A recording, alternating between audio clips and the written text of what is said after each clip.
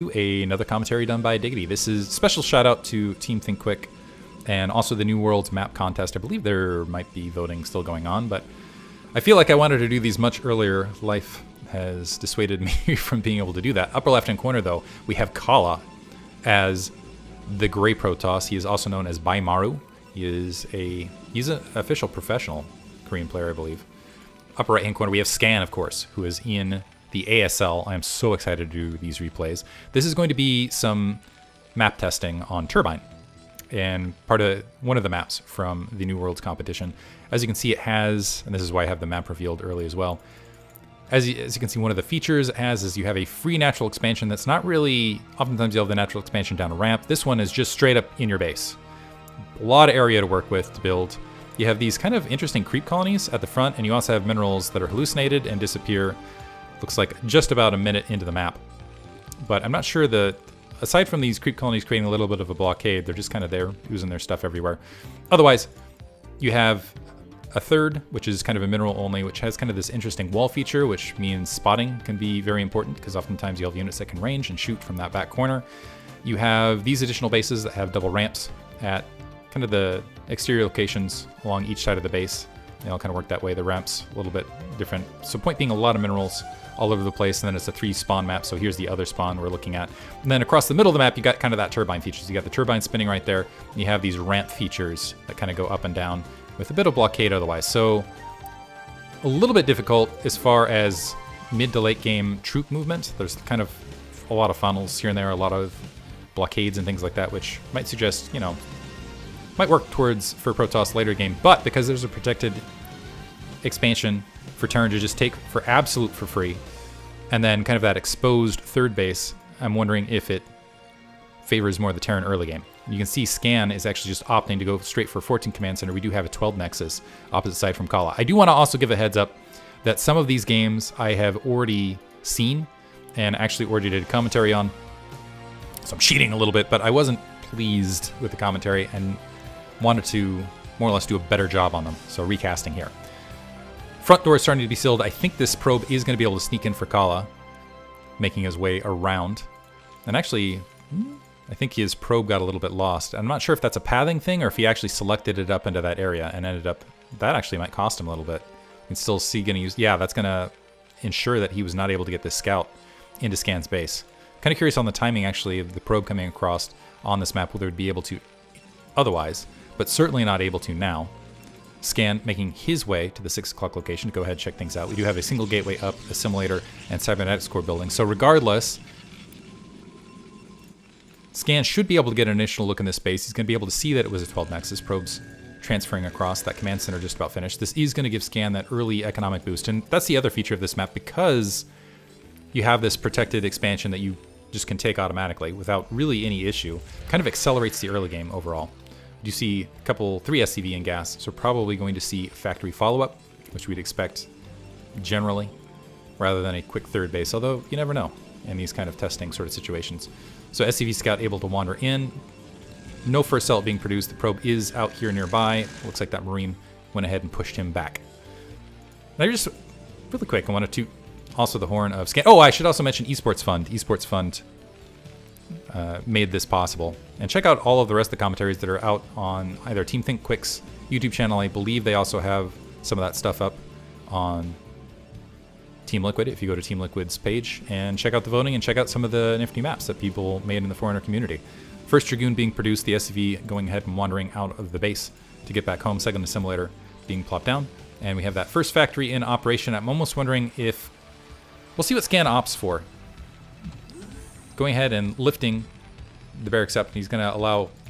He's actually building a bunker. Huh, interesting.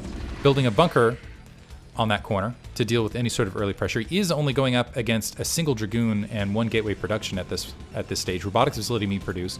I do feel like it is up to the Protoss with two free bases for Terran to slow the Terran economy down.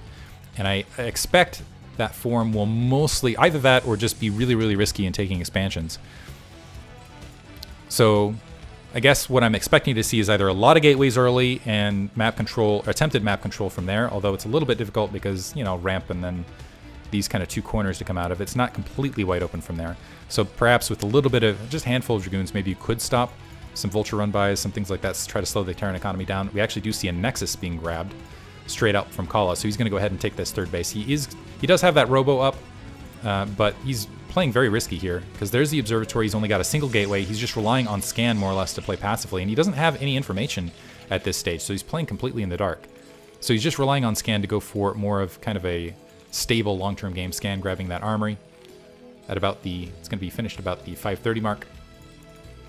Does have two machine shops building. First tank is out for him on that front door, but I think with this bunker, it looks like this is going to play out for Scott for Khala because Scan's playing a little bit more passively. And on top of that, while Scan's kind of checking out this this 9 o'clock base, he hasn't wandered up with that SCV to go ahead and get the scout on the mineral only. And actually kind of playing in the dark himself, double machine shop, which suggests to me we are going to see, after this initial siege tank push, either a bunch of siege tanks, actually Goliath. I like this play, because he knows that typically the Protoss has to come to him to slow his economy down. So opting to go ahead and get Goliath to kind of have mobile units to cover all of this area. So he's like, okay, if I'm going to have to defend a lot of space, let me go ahead and get Goliath so they're mobile and can run around and deal with any sort of and deal with anti-air.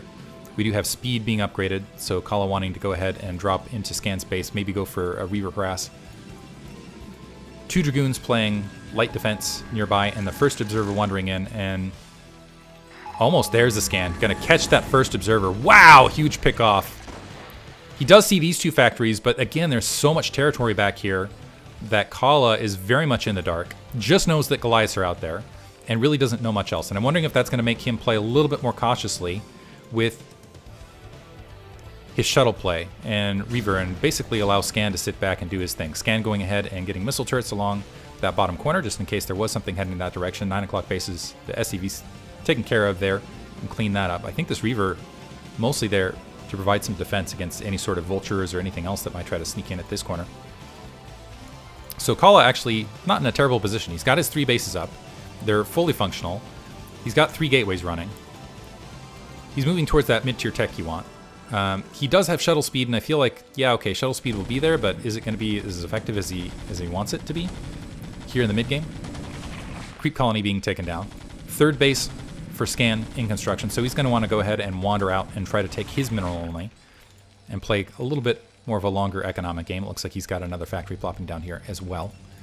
But this is kind of the thing for Protoss in this map. I feel like, yeah, okay, you got some decent Dragoon forces, but if we looked at, I don't know, a Vulture mid-game, maybe that would have been frustrating to deal with. And part of the thing is, is you, you know, your Terran opponent here just has two free bases to just sit back and macro on top of, and there's just so many timing attacks these days that Terran can pull out.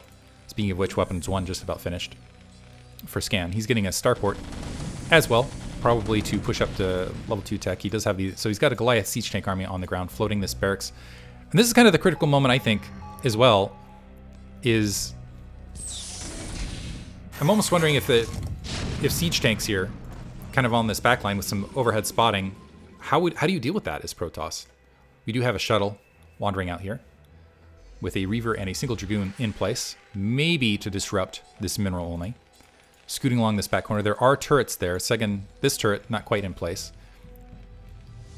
But because of earlier scans by scan, he's playing very much in the dark. Might get a free Reaver shot on some of these Marines. So two Marines being taken out, a little bit of damage on that Goliath.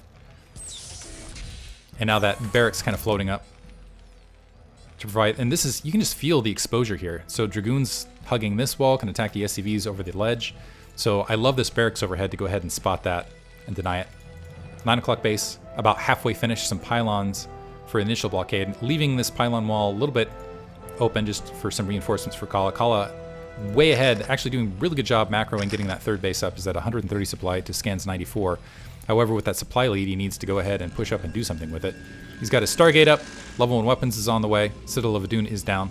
I don't see Arbiter Tech. There it is. Take it back. Arbiter Tribunal is up, another Stargate as well, so he's going to go for Arbiters, which is kind of the more stereotypical play. But again, this is kind of an odd map.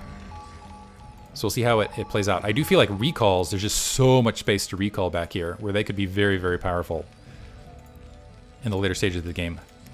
Bunch of factories being placed down. That's going to put the factory count up to 6, 7 in mid-game. Level 2 armor being upgraded, level 2 weapons, sorry, level 1 armor, level 2 weapons being upgraded. So I almost wonder if Scan's just kind of doing that. Okay, let's go for the stereotypical meta and play it that way, and we're going to see how that executes here. However, Khala, not exactly 50 supply ahead, but about 50 supply ahead. So as far as just flat macro, he's doing quite well and in a good position, playing very defensively at this stage, and he's going ahead and taking another base as well. I like this pylon blockade to stop additional expansions from Scan as well. He, he will be able to see this base coming across because of this observer once that's scooting across. And there's two Reavers, perhaps, to kind of engage that. No Vulture speed just yet, but we do have Vultures with mines out in front. Nice scan. Man, he's just really been on top of this, taking out another Observer. Just kind of predicting that Reaver trying to slow these Vultures down, and the shuttle gets taken out. Oof, a mine dropping and killing both Reavers.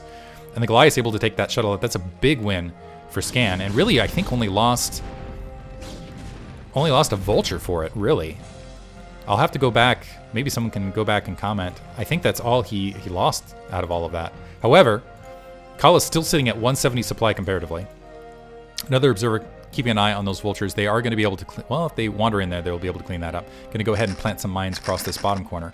And this is kind of that section where we have, yeah, two large armies, weird kind of ramp engagement points across the map there. Scan's going to go ahead and plant some mines to get some map control to the south, so he doesn't have to worry about incursions from there. The Dragoons pressing up and making sure that they go no further. They don't have an observer alongside, so they need to be very careful out here.